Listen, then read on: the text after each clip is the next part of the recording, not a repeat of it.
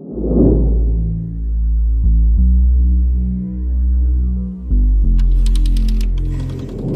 What's up everybody, DueRag back at it again with another video. Today we're going to be talking about Ready or Not because they dropped another briefing. This one is briefing number 50. Wow, the big 5-0. Double feature station Redux AI. Ooh, is this the new police station? Cool. Let's go ahead and hop into it here. It starts off with saying, uh, attention officers, welcome to the 50th edition of our bi-weekly newsletter. To mark this milestone, we will be having an extra long newsletter. We'll be featuring a meaty write-up of the AI system that Ready or Not uses as well as a good public look at the other half of our station rework. Starting off with the rework of the station Being the first map that many, if not all players, will see, meaning it's an incredibly important first impression, perhaps even more so since the atmosphere of the station and the decrepit state of the player's surroundings reflects the state of Los Suenos as a whole, with a combination of clearly repurposed rooms, crumbling architecture, all filled with high-tech police equipment, in stark contrast of their surroundings. It effectively communicates the state of the world the player has chosen to immerse themselves in. Interesting. I really can't wait to see what it looks like. I wonder if they're utilizing all that stuff that was featured like underneath the level. Like if you have the free cam, you could actually see all the cut stuff that's like behind the scenes. Can't wait to see it. Moving on here. The Station Reborn. Along with the many facelifts that many of the legacy maps are getting, we had no intention to leave our players home base in the dirt. Teasing the level of detail we plan to put it to, the rest of the station with part 1 of the revamp we launched with the Adam. We figured it was time to tease the rest of the work. We put it to the map. We got our first picture here. It looks like a shooting range. This is definitely different from,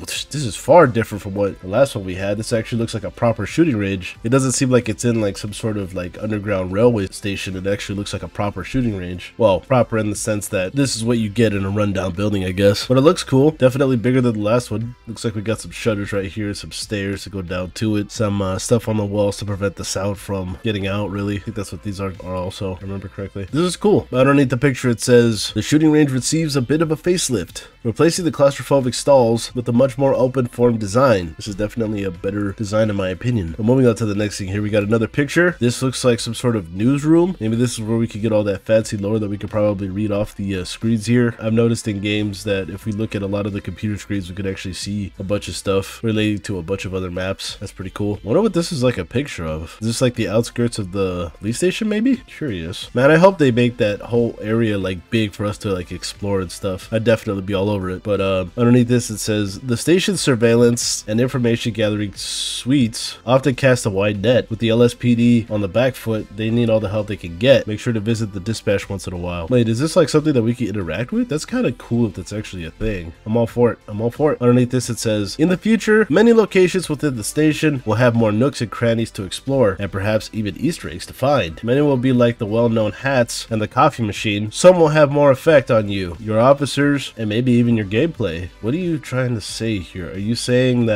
doing things in here will actually affect gameplay, like make us run a little faster or something? Like give us a little bit of perks? Is that what I'm hearing? Interesting. Moving on to the next thing here, we got what looks like an evidence storage area? The little red tape, I guess? It says evidence, I think. This is cool. Do we like fill this up like every freaking mission that we do? That would be awesome, actually. Like in the campaign, if this fills up every time that you do the missions, that would be so cool. Underneath this, it says the evidence room where you can find some of your confiscated arms, drugs, and redacted. Ooh. Underneath this, we got a picture of what looks like the inside of like the beginning of the station. We got a counter over here for something. Authorized personnel only. Uh, some sort of logo here. It looks like uh, a combination of symbols.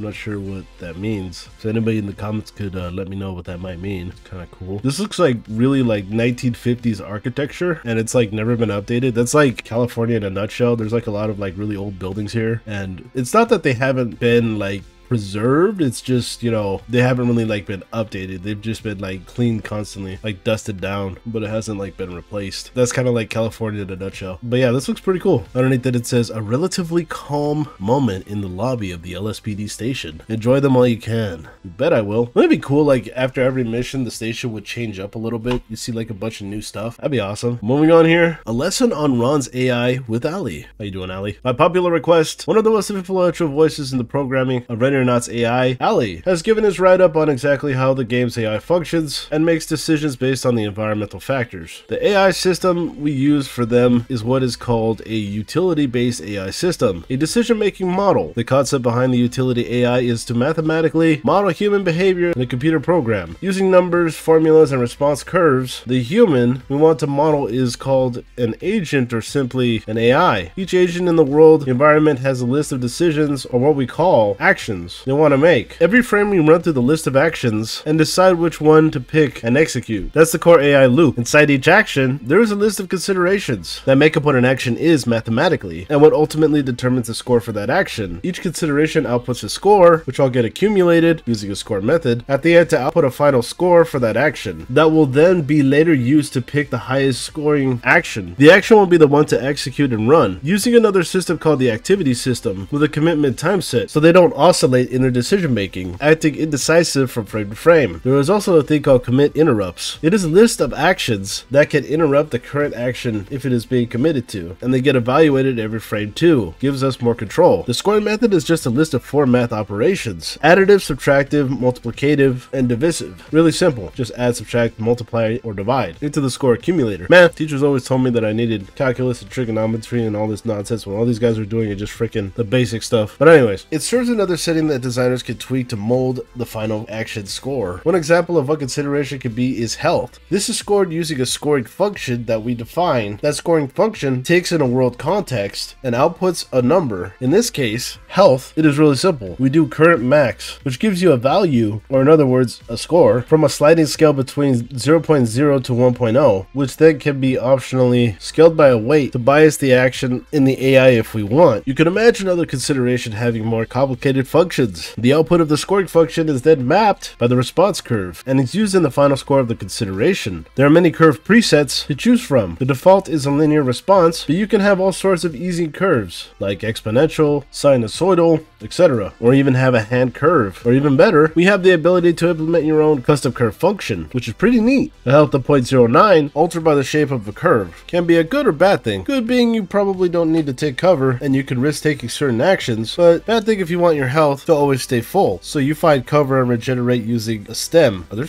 stims in Ready or Not now? Oh, this doesn't happen in Ron, of course, but just as an example of how looking at the same number can mean two different things. Interesting. I don't know what most of this stuff means. I kind of get it, but not really. But hey, look, a picture of how it somewhat operates. Not entirely sure what this is, but according to this, it's score, which I assume is the score that they were talking about. Context, break AI action decision context, AI action decision context, controller world, get character, target cybernetic controller, target return value is valid, exec is valid, return node. I don't know what any of this stuff means. Current health, get max health. It's interesting. Hopefully the text underneath explains this a bit better. As you can imagine, with a library of hundreds of considerations, using those and tweaking response curves is how we can get different personality types or behaviors out of our suspects and civilians. Some being more resistant to surrender than others, or some being more eager to take cover, or some that can be more suicidal if you don't de-escalate the situation quickly. And they show off more pictures here of what looks like maybe behavior or I'm not too sure. AC constant one, whatever that means. Config float ver, weapon ammo, ammo armor, compliance, morale, interesting. And then there's another picture underneath this. So these are the considerations 0 through 7, gates 0 through 1, and I assume these are what these are. Two array elements as a target, has target been yelled at, eight array elements, no ammo left. I've actually seen a lot, a couple of suspects that have shot at me, but then they drop their weapon because they realize that they're out of ammo. That's actually really cool. I've definitely seen that. When threat is high, when tension is high, when morale is low, below 50%, that's when they execute themselves. The suppression near legs warning a shot.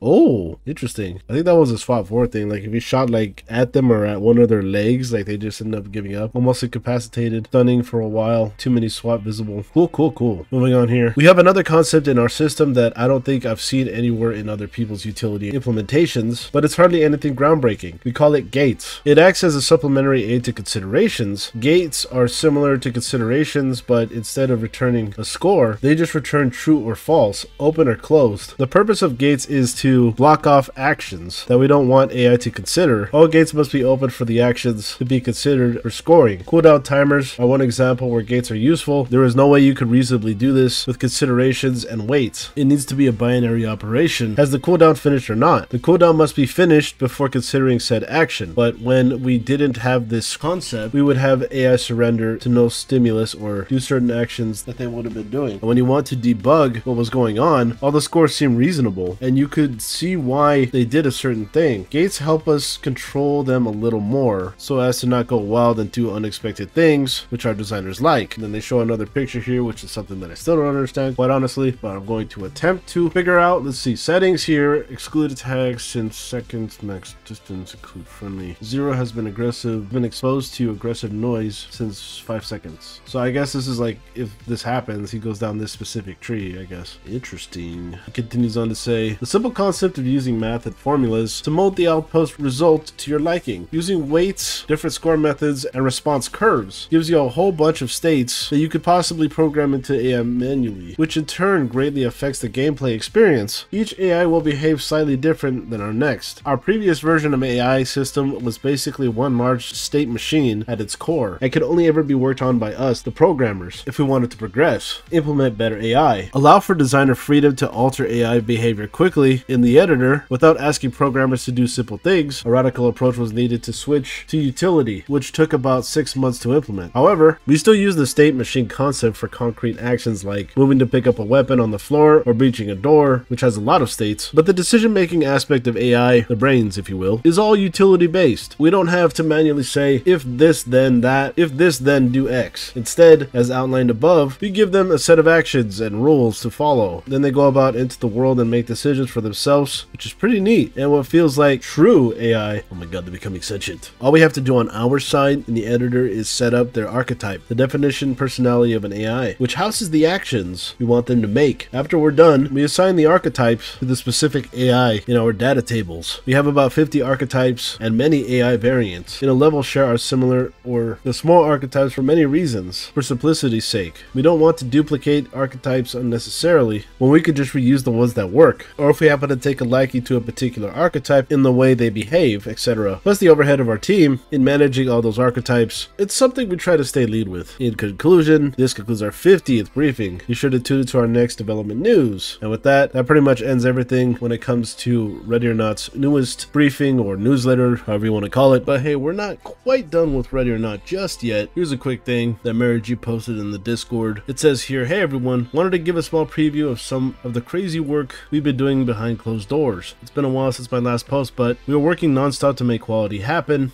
and we can't wait to share the things we are working on quality over quantity. Severe Vetas. I'm not sure if I said that right, I probably didn't. But hey, they showed off a picture here. And to be honest, at first when I saw this, I was like, is this another April Fool's joke? Because this actually looks like a bot asset, but I think it's just without the textures. That's why it kind of looks a little off to me. But somebody showed that the shoe that's right there is the one that they scanned in from the previous update. So I'm just like, oh, well, these can't be bot assets, obviously, because they're scanning them in. But yeah, this is the HRT-MC work in progress, and it looks pretty cool. You got two different types of helmets. Uh, I think actually they're the same helmet, but one's just wearing a, uh, I'm not sure what you call it, cover, OpsCore, I believe. Customization. I'm not sure if this is just customization, like we get to put on different types of helmets and shoes and stuff, or if it's just what the new model is going to look like. I hope it's the latter, but I guess we'll see. But that's pretty cool. And that's pretty much it when it comes to Ready or Not news at the time of this recording. And uh, yeah, I am really excited to see this uh, new police station. I would explore every nook and cranny, not gonna lie. What are your guys' thoughts? I honestly did not understand a whole lot of the whole AI process. I mean, I kind of got some of it. Sounds really cool. And it's definitely something that I would like to learn, but I just don't have that kind of time. Or maybe I do have the time and I'm just not interested. But either way, tell me what your guys' thoughts are. And uh, yeah, I guess I'll catch you in the next one. Be sure to subscribe and like the video and do all that jazz. And thank you all for coming out to watch. And I guess I'll catch you in the next one. Bye bye.